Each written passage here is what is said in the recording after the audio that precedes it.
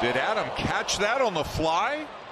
Yes, he did. He did. He caught that on the fly, and that is a double play to end the game. Behind the back, he oh. caught the line drive. This is one of the most unusual catches you'll ever see.